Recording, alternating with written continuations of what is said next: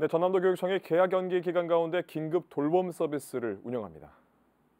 긴급 돌봄은 지난 2일부터 시작됐고 올해 신입생을 포함해서 초등학교 전 학년과 유치원 원화 가운데 희망자를 대상으로 이뤄집니다.